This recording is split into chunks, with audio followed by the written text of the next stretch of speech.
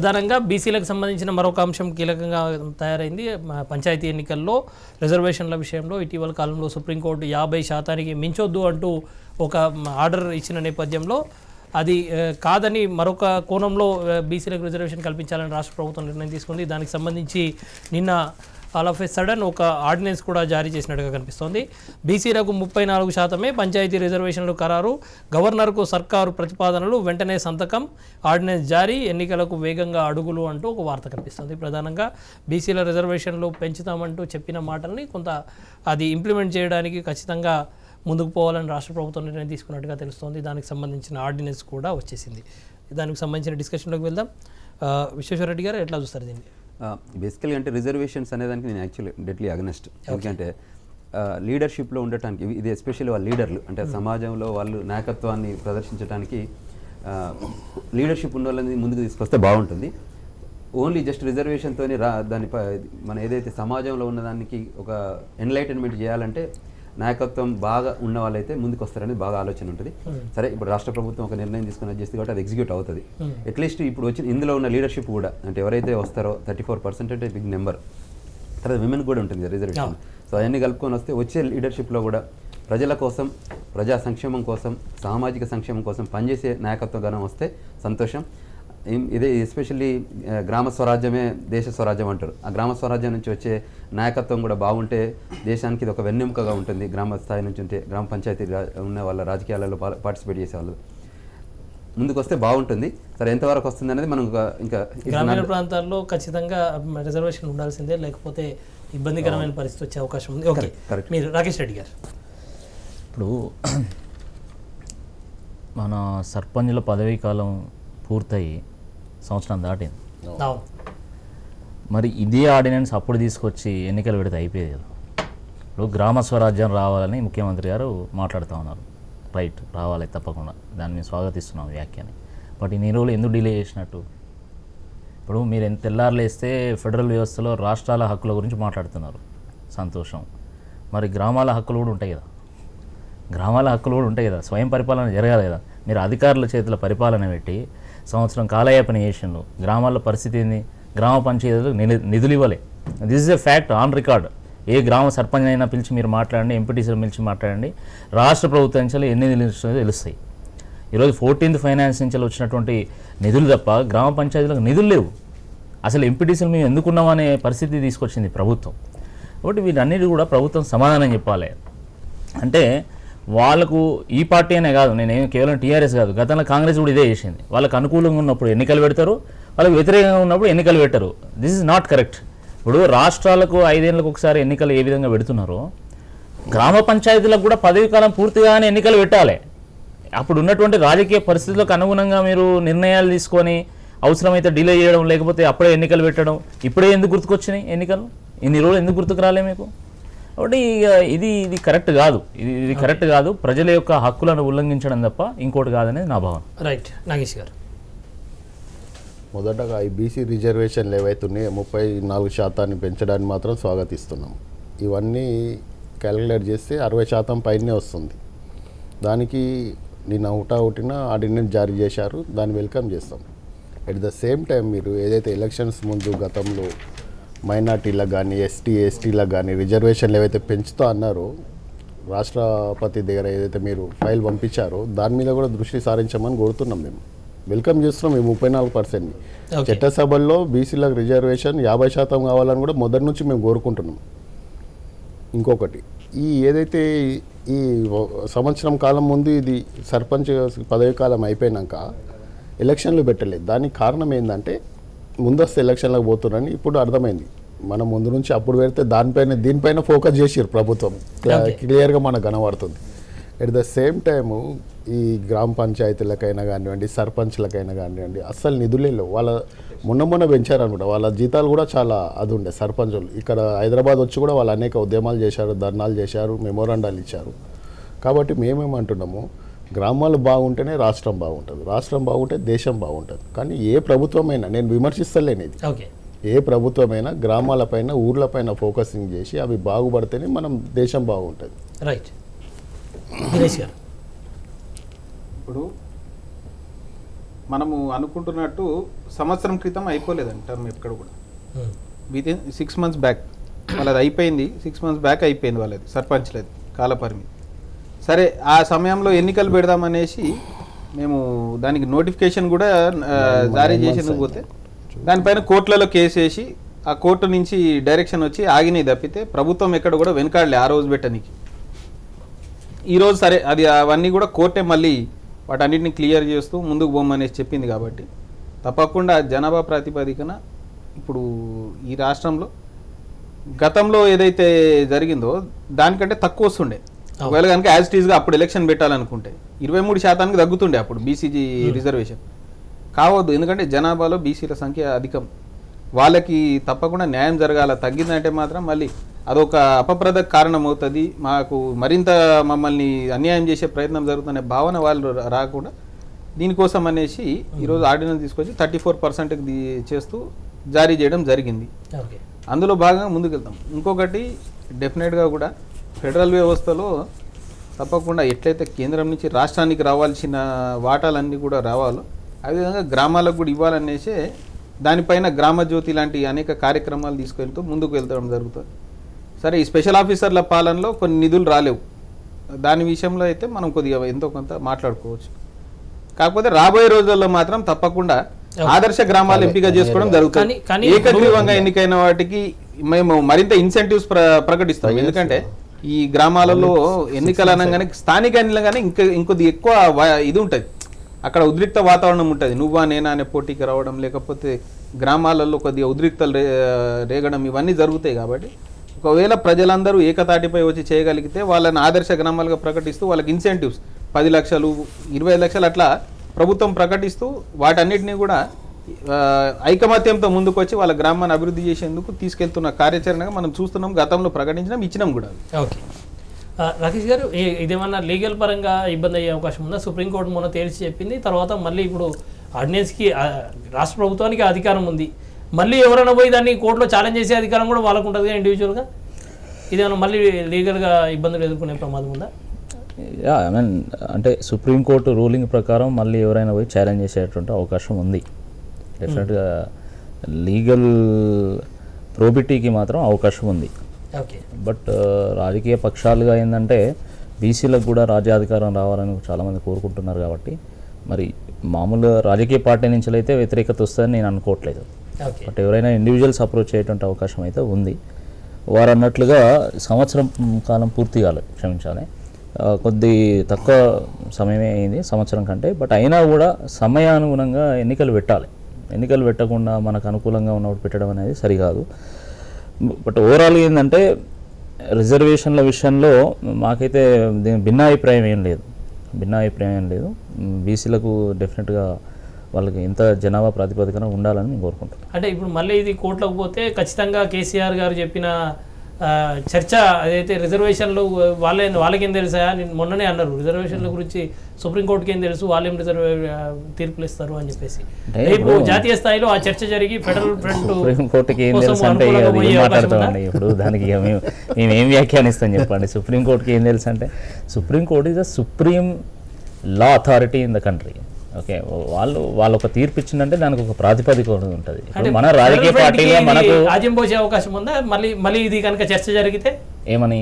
అదే జాతీయ స్థాయిలో ఆయన రిజర్వేషన్లు జనాభా కనుక అనుగుణంగా ఉండాల్సిందే. ఇది వీళ్ళు ఎవరు అడ్డుకోవడానికి కేంద్ర ప్రభుత్వం కానీ కోర్టులు కానీ ఎవరు అడ్డుకోవడానికి అని చెప్పి కేసీఆర్ గారు గట్టిగానే చెప్తున్నారు. నా- కరెక్టే కరెక్టే కానీ ఇప్పుడు కోర్టుకు ఉండే అధికారాలు కోర్టుకు ఉంటాయి మనకు ఉండే అధికారం మనకు ఉంటుంది రాజ్యం పోయాలనుకుంటే పోయొచ్చు. దాన్ని ఎదుర్కొనేటువంటి కెపాసిటీ అందరికి ఉన్నది రైట్ ఓకే నాగేష్ గారు ఈ అరవై శాతం రిజర్వేషన్లు ఏవైతే పెరిగినాయో అది అరవై సుప్రీంకోర్టు ఒకటికి అరవై ఒకటి పోతుంది. సుప్రీంకోర్టుకి ఆశ్రయిస్తే కంపల్సరీ దానిపైన మళ్ళీ గతంలో జరిగిందే వస్తుంది. నెగిటివ్గానే వస్తుంది. దీనికి ఒకటే ఒక సొల్యూషన్ ఏంటంటే ప్రధానమంత్రి గారు ఇన్వాల్వ్ కావాలి ఇందులో. రాష్ట్రపతి గారు దాన్ని ఆమోదిస్తేనే తప్ప ఇంకా వేరే ఛాన్స్ లేదు. అప్పుడు మా తమిళనాడుకి ఎందుకు ఇచ్చిందంటే అక్కడ ఉన్న పరిస్థితులు అక్కడ ఉన్న పరిస్థితుల ఆధారంగా కొన్ని వాళ్ళకు తప్పదు అన్నట్టు ఇచ్చేసింది. దాన్ని బేస్ చేసుకొని మనం చేసామంటే ఇక్కడ ఎట్లయినా అది మనం పంపించచ్చు తప్పులేదు ఆర్డినెన్స్ చేయడము అసెంబ్లీలో తీర్మానం చేయడము ఇవన్నీ మన చేతిలో ఉన్న పని. కానీ అది సుప్రీంకోర్టుని మనం ప్రశ్నించలేము. ఎట్ ద సేమ్ టైం రాష్ట్రపతి గారు దాన్ని ఇంట్రెస్ట్ చూ చూపించాలి దానికి పక్కా ప్రభుత్వమే ముఖ్యమంత్రి గారే చొరవ తీసుకోవాలి. ఇప్పుడు నిన్న ఎలాగైతే ఉటా ఉటిన దీన్ని ప్రోగతి తీసుకొచ్చి సంతకం చేశారో పెట్టారో అదే ఇంట్రెస్ట్ మనం ఫైల్ మూవ్మెంట్లో కూడా చూపించాలి ఎవరు వెళ్ళినా సుప్రీంకోర్టులో ఆగిపోతుంది దాంట్లో సంబంధం తిరిగేలేదు ఇంకా వేరే మాటనే. లేదు. ఇప్పుడు బలరాం గారు ముఖ్యమంత్రి గారు అడిగింది సుప్రీంకోర్టు దీని పట్ల ఏంటంటే రాజ్యాంగంలో ఎక్కడైనా సరే ఫిఫ్టీ పర్సెంట్ క్రాస్ కాకూడదని ఉన్నదా? సుప్రీంకోర్టు తనకు తానే స్వయంగా ఇంపోజ్ చేసే అధికారం ఏంది ఇది దీనిపైన అనే రీతిలో ఆయన అడిగి అడగడం జరిగింది. తప్పకుండా. ఇప్పుడు ఆయన చెప్పిన కామెంట్ కూడా అదే. ఈ దేశంలో అత్యధిక బీసీలు ఉన్న రాష్ట్రం కూడా ఇదే అని చెప్పి అన్న మాట కూడా ఆయన చెప్పారు. అదే మేము అంటున్నాము ఇది కాన్స్టిట్యూషనల్గా అన్వాలిడ్ కాదండి ఇది. ఉమ్. ఇది ఎక్కడ కూడా రాజ్యాంగంలో ఈ విధంగా చేయకూడదని లేదు. సుప్రీంకోర్టు తనకు తానుగా కొన్ని కొన్ని విషయాలలో అత్యుత్సాహం ప్రదర్శిస్తోంది అనేది మనము ఇక్కడ మనం మాట్లాడుకోవడం కాదు. ఈరోజు ఇక్కడ ఉన్న పొలిటికల్ పార్టీస్ కూడా కొన్ని కొన్ని విషయాలలో సుప్రీంకోర్టు తీర్పును వ్యతిరేకించినాయి. దాన్ని మనం ఇక్కడ కూర్చొని డినై చేసే పరిస్థితి కూడా లేదు. ఎందుకంటే అన్ని తీర్పులు కూడా సుప్రీంకోర్టే తీసుకోవాల్సిన అవసరం లేదు. ఇప్పుడు కొన్ని విషయాలు ఏమంటది? మేము దీనిలో ఇన్వాల్వ్ కాలేము మీరు పార్లమెంట్లో చట్టం చేసుకోండి అనేసి తనే అంటది. కొన్ని విషయాలలోనేమో తనకు తానుగా మరింత కొన్ని ఏమంటారు? దాన్ని జుడిషియరీ ఓవర్ స్టెప్పింగ్ అంటారు కొన్ని విషయాలలో. అటువంటి అటువంటి సందర్భం వచ్చినప్పుడు తప్పకుండా పొలిటికల్ పార్టీగా ఒక ప్రజలకు ప్రతినిధిగా ఉన్న వ్యక్తి తప్పకుండా ప్రశ్నిస్తారు ఆ నిర్ణయాన్ని. ఇప్పుడు నేనేమంటానంటే ఒక పక్క రాష్ట్రం నేబరింగ్ నేబరింగ్ రాష్ట్రమే అవుతుంది మనకు తమిళనాడు ఒక లెక్కన. ఆ రాష్ట్రంలో సిక్స్టీ నైన్ పర్సెంట్ ఉండగా అక్కడ ప్రజలు ఎందుకు అనుభవించాలా? తెలంగాణ ప్రజలు ఎందుకు డినై కాబడాలి ఆ హక్కులకి? అది అదొక్కటే మేము ప్రశ్నించేది. దేశం అన్న తర్వాత ఒకటే చట్టం ఉండాలి కదా ఎవరికైనా. వాళ్ళకేమో స్పెషల్గా ఒక ప్రొవిజన్ కల్పించేసి ఆ తర్వాత మిగిలిన వాళ్ళకి ఆపేస్తామంటే అది కుదరదు. తప్పకుండా తెలంగాణ రాష్ట్రంలో కూడా ఇక్కడ జనాభాకు అనుగుణంగా వారి వెనుకబాటుతనానికి ఆధారంగా కొన్ని కొన్ని ప్రతిపాదనలు మేము చేయడం అసెంబ్లీలో తీర్మానాలు చేయడం కేంద్రానికి పంపించడం పార్లమెంట్ వద్దకు పంపించడం ఇవన్నీ చేసినాం. అట్లాంటి సమయంలో వాటిని రాష్ట్రాలకే అదే అడిగాడు ఫెడర- ఫెడరల్ ఫ్రంట్ అనే దాని లక్ష్యం ఏంటంటే రాష్ట్రాలకు కావాల్సిన ప్రయోజనాలను నిర్ణయించుకునే అధికారం రాష్ట్రాలకు ఉండాలి. దీన్ని ఒక కేంద్రీకృత వ్యవస్థ పెట్టుకుని అక్కడి నుంచి శాసించే పరిస్థితి ఉండకూడదు. ఎందుకంటే ప్రతి రాష్ట్రానికి భౌగోళికంగా కానీ సామాజికంగా కానీ వేరు వేరు పరిస్థితులు ఉంటాయి. అన్నిటిని ఒకే ఘాటిన కట్టే ప్రయత్నం చేయకూడదు అనేసి కేసీఆర్ గారు దాన్ని నిర్ణయించారు. ఇంకొక అంశం మంత్రివర్గ విస్తరణపై తీవ్ర ఉత్కంఠ కొనసాగుతుంది. రేపు జరుగుతుందా లేక మరో రోజా అన్నది కొనసాగుతుంది. ఆశావాహులంతా కూడా టెన్షన్ పడుతున్న పరిస్థితి. పాత వాళ్ళందరినీ పూర్తిగా తప్పిచేసి కొత్త వాళ్ళకి ఛాన్స్ ఇస్తారన్న చర్చ కూడా జరుగుతుంది. దీనికి సంబంధించిన డిస్కషన్లోకి వెళ్దాం. రాకేష్ గారు ఎట్లా రెస్పాండ్ అవుతారు? రాష్ట్రంలో మారుతున్న రాజకీయ పరిణామాలు కొత్త వాళ్ళకి అవకాశం ఇవ్వాలి పూర్తిగా ఓల్డ్ మంత్రులందరినీ పక్కన పెట్టాలి అన్న ఒక ఆలోచన జరుగుతుంది అని చర్చ. అంతే అంతకు మించి అది మనం సర్టిఫై చేయట్లేదు. ఎట్లా? దాన్ని అట్లా జరిగితే ఉన్న పరిణామాలు ఎట్లా ఉంటాయి? అంటే మంత్రివర్గంలోకి ఎవరిని తీసుకోవాలనేది పూర్తిగా ముఖ్యమంత్రి గారి నిర్ణయాధికారం నిర్ణయాధికారం. కాబట్టి సరే దాని మీద పోకుండా ఒకటి మాత్రం చాలా స్పష్టంగా కనబడతా ఉంది. టీఆర్ఎస్లో అంటే రాజ్యాధికారం ఒకరి వైపు నడిపించేటువంటి ఒక ప్రయత్నం జరుగుతుంది అనేది మాత్రం అంతటా చర్చ జరుగుతున్నది. కాబట్టి ఆ రకంగా చూసినప్పుడు డెఫినెట్గా కొంచెం కేటీఆర్ గారికి అనుకూలమైనటువంటి వాళ్ళను మంత్రివర్గంలో తీసుకునేటువంటి అవకాశం ఉంది.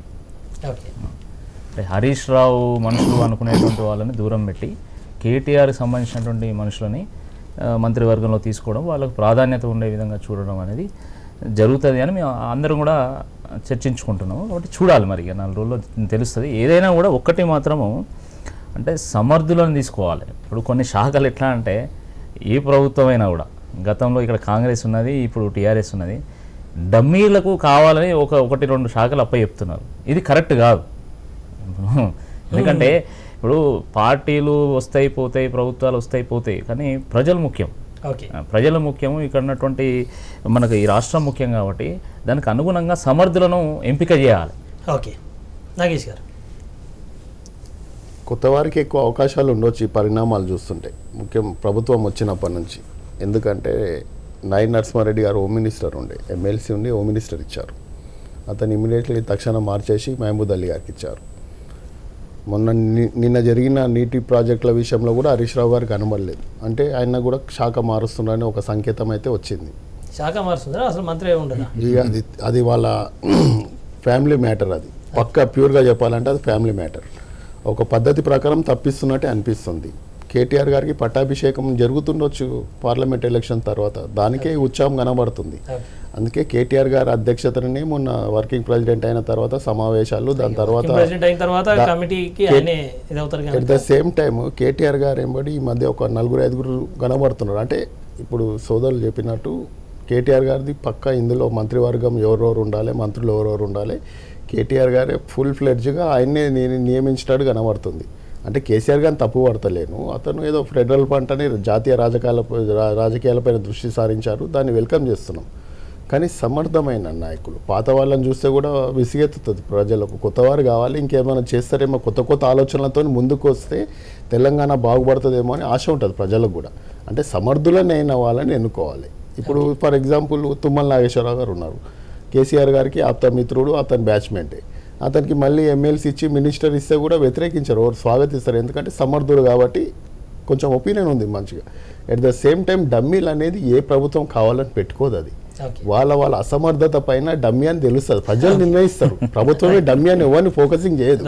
వాళ్ళ పనితీరు పైన అతనికి మార్కులు పడతాయి. రైట్ విశ్వేశ్వర రెడ్డి గారు బేసికలీ అంటే నేను ఈ టూ త్రీ డేస్ నుంచి కూడా I was interacting KTR is my good friend A US వచ్చినా కూడా ఇప్పుడు మేము డెవలప్మెంట్ ఏ మినిస్టర్ వచ్చినా కూడా మేము అక్కడికి అమెరికా గవర్నమెంట్తో కానీ అదేవిధంగా అక్కడ ఉన్న ఐటీ కంపెనీస్ కానివ్వండి ఇండస్ట్రియల్ కార్పొరేషన్స్ కానివ్వండి సీడ్ బౌల్ ఆఫ్ అమెరికా అంటారు.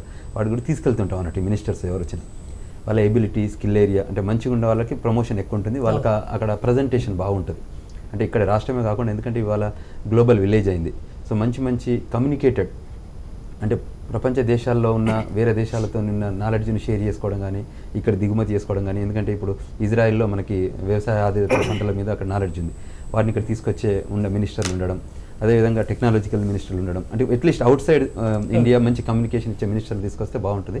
కేటీఆర్ గారు ఇప్పుడు అంటే ఫ్యూచర్ సీఎం అనే సెటప్ జరుగుతుంది కాబట్టి ఆయనకు అంటే కనెక్ట్ అయిన వాళ్ళు ఉంటే ఉంటుంది. అదే అది కాకుండా మీరు అన్నట్టు మిగతా పొలిటీషియన్లతో కనెక్ట్ అయిన వాళ్ళు ఉంటే వాళ్ళకి ఇబ్బంది అవుతుంది. కానీ కానీ అంత బ్రాడ్గా ఆలోచించి ఇంత వ్యూహాత్మకంగా ఉండే కేటీఆర్ గారు ఆయన వెనకాలంతా కూడా జై తెలంగాణ బ్యాచ్ కంటే నై తెలంగాణ బ్యాచ్ ఎక్కువ ఉంటుంది అనే ఒక అభిప్రాయం ఎందుకు అటువంటి ఇమేజ్ ఎందుకు వస్తుంది ఆయనకు? కరెక్ట్ మీరు మంచి చెప్పారు. ఏంటంటే ఉద్యమ Telangana UT batch BT batch మీరు అదే సో బీ మేము మధ్య మధ్యలో మేము ఫీడ్బ్యాక్ కూడా ఇస్తుంటాం. బీటీ బ్యాచ్ని ఎక్కడ వరకు ఎంత వరకు అంటే కొందరికి అవకాశాలు ఇవ్వచ్చు. కొన్ని అంటే ఫస్ట్ టైంలో వాళ్ళు ఇచ్చారు కొంతమందికి మినిస్టర్స్ అదేంటంటే వాళ్ళకి ఆ ఏరియాలో టీఆర్ఎస్కి ఎనఫ్ స్ట్రెంత్ లేనందువల్ల వాళ్ళకి ఇచ్చారు ఇప్పుడు సిటీలో కానివ్వండి. లేకపోతే ఖమ్మం జిల్లాలో కానివ్వండి ఇచ్చారు. సో ఇప్పుడు వాళ్ళకి ఎనఫ్ ఎమ్మెల్యేలు వచ్చారు. అంటే టీఆర్ఎస్ ఇప్పుడు మీరు తలసాని శ్రీనివాస్ యాదవ్ టీడీపీ నుంచి గెలిచి మినిస్టర్ తీసుకున్నారు.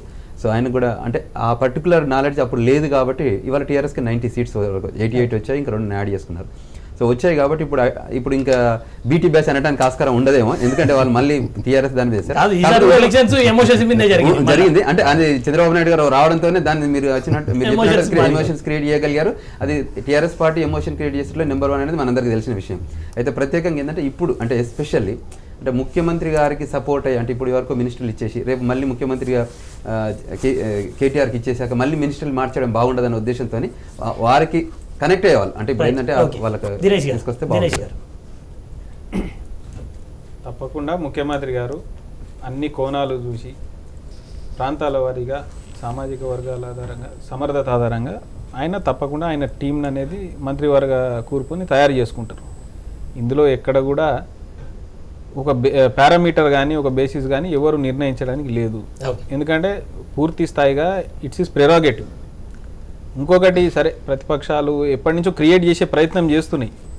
కేటీఆర్ గారికి హరీష్ రావు గారికి రిఫ్ట్ ఉంది లేకపోతే ఆయన ఆధిపత్యం ఈయన ఆధిపత్యం అనేది క్రైడ్ ట్రై చేయడానికి ఎంతో క్రియేట్ చేయడానికి చేసిరు కానీ మనం చూస్తూనే ఉన్నాం ఎప్పటికప్పుడు వాళ్ళు ఒకళ్ళ పట్ల ఎంత ప్రేమగా ఉంటారు ఎందుకంటే కేటీఆర్ గారు స్వయంగా సిరిసిల్ల నుంచి తిరిగి వస్తూ సిద్దిపేట సరిహద్దుల్లో ఉన్న ఒక దాబాలో కూర్చొని అక్కడ సామాన్యతో ఇంటరాక్ట్ అయ్యి మా భావన ఎట్లయినా లక్ష మెజార్టీ పైన గెలిపేయాల్సిందే మీరు అనుకుంటే ఆయన చెప్పడం.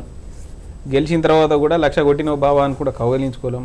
మొన్న వర్కింగ్ ప్రెసిడెంట్గా అనౌన్స్ అయిన తర్వాత కూడా హరీష్ రావు గారితో పోయి కూర్చుని ఎందుకంటే ఆయన సుదీర్ఘ అనుభవం ఉన్నది హరీష్ రావు గారికి. కేటీఆర్ గారి కంటే కొద్ది ముందే రాజకీయంలోకి వచ్చి కాబట్టి తప్పకుండా ఆయన సూచనలు సలహాలు తీసుకోవడం మనం ఎట్లా ముందుకు పోతే బాగుంటుంది. కొద్దిగా నాకు కూడా మీరు కొన్ని సలహాలు ఇవ్వాలనేసి ఆయనతో మాట్లాడడం. ప్రతి దానిలో కూడా అల్టిమేట్లీ వాళ్ళందరూ కూడా ఆల్మోస్ట్ ఆల్ ఒక ఏజ్ గ్రూప్ ఒకటే చిన్నప్పటి నుంచి కలిసి పెరిగిన నేపథ్యం కావచ్చు ఇవన్నీ ఉండడంతో ఆ సాన్నిధ్యం ఉంటుంది. బయట ఎంత క్రియేట్ చేసే ప్రయత్నం అన్నా కానివ్వండి వాళ్ళ మధ్య అటువంటిది లేదు. పార్టీ పరంగా మాకు మా సమర్థులు ఎవరో తెలుసు వారిని ఏ విధంగా వినియోగించుకోవాలో మాకు తెలుసు. సో ఎవరు కూడా దాని పట్ల చింతపడాల్సిన అవసరం లేదని రైట్ టైం అయిపోయింది. మనకు నగేష్ గారు మీరు ఒకటే మాటలో చెప్పాలంటే ఏం చెప్తారు? మొత్తం ఈ సబ్జెక్ట్ మీద. ఏమంటున్నామంటే తెలంగాణ కోసం ఎవరైతే ఫస్ట్ నుంచి కేసీఆర్ వెంట ఉండి పోరాడారో వాళ్ళకు అవకాశం ఇస్తే బాగుంటుందని మా అభిప్రాయం. ఎట్ ద సేమ్ టైము ఎవరైతే వేరే పార్టీల నుంచి జాయిన్ అయ్యారో మనం ప్రమాణ స్వీకారం చేస్తాం అంతర్కర్మ శుద్ధితో. దాని ప్రకారం ఆలోచన ఎస్ దాంతో ఎవరు ఉన్నారో వాళ్ళని జాయిన్ చేసుకోండి. ఎవరు ఫస్ట్ నుంచి ఉన్నారో వేరే పార్టీల నుంచి వచ్చిన వాళ్ళకి ఇస్తే ఇప్పుడు ఒక సెంటిమెంట్ పైన ఎలక్షన్లు జరిగినాయి. అదైనా ఏదైనా. ఇప్పుడు అవసరం లేదు కదా అదే అంటుంది ఇప్పుడు అవసరం లేదు కాబట్టి అది దృష్టిలో పెట్టుకోవాలి. తెలంగాణ కోసం ఎవరు పోటాడారు ఎవరు వేరే పార్టీ పైన గెలిచి వచ్చారు రాకేష్ గారు మనం క్లోజ్ చేయాలి. సమర్థత ఉన్న వాళ్ళకి పెద్దపీట వేయాలి. మహిళలకు అవకాశం ఇవ్వాలి. గత క్యాబినెట్లో మహిళలకు అవకాశం ఇవ్వలేదు. యంగ్స్టర్స్కి అవకాశం ఇవ్వాలి. ఎందుకంటే ఇప్పుడు రాష్ట్రంలో అత్యధిక జనాభా యంగ్ యంగ్స్టర్స్ ఉంది కాబట్టి వాళ్ళ యొక్క ఆశ ఆకాంక్షలకు అను- అనుగుణంగా మళ్ళీ ఆ ఏజ్ గ్రూప్ వాళ్ళు పనిచేయగలుగుతారు కాబట్టి వాళ్ళకి అవకాశం ఇస్తే బాగుంటుందని నా అభిప్రాయం. రైట్ విశ్వేశ్వరరెడ్డి గారు. ఫైనల్గా వర్డ్ చెప్పాలనుకుంటే ఏం చెప్తారు? అదే బేసికల్గా ఏంటంటే KTR is young guy so ఆయన కూడా రాకేష్ రెడ్డి గారితో ఏకీభవిస్తే ఏంటంటే ఆయనతో కోఆర్డినేట్ చేసుకోగలిగే వ్యవస్థ ఉన్న లీడర్షిప్ ఉంటే బాగుంటుంది. I think they already decided ఎవరెవరు మినిస్టర్లు అనేది డిసైడ్ చేశారు. ఇంకొకటి ఏంటంటే మహిళా ముఖ్యం మహిళా మంత్రి లేరు అనేది లాస్ట్ దానిలో ఒక అపవాదం ఉండేది టీఆర్ఎస్ పార్టీ మీద. సో ఐ థింక్ అది కూడా ఫిక్స్ చేస్తారు అనుకుంటుంది దీంతో రైట్ దినేష్ గారు ఫైనల్గా వర్డ్ చెప్పాలనుకుంటే?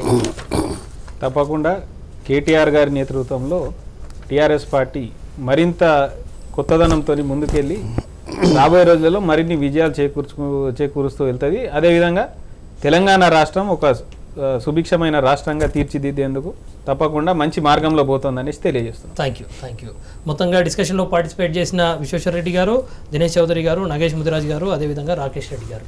అందరికీ ధన్యవాదాలు. ఇది ఇవాళ డిస్కషన్. మొత్తంగా ఎవరికి మంత్రి పదవులు ఇస్తారనేది ముఖ్యం కాదు. సమర్థులకు మంత్రి పదవి ఇచ్చి రాష్ట్రాన్ని ముందుకు నడిపించాలనేది మాత్రం అందరూ కోరుకుంటున్న విషయం.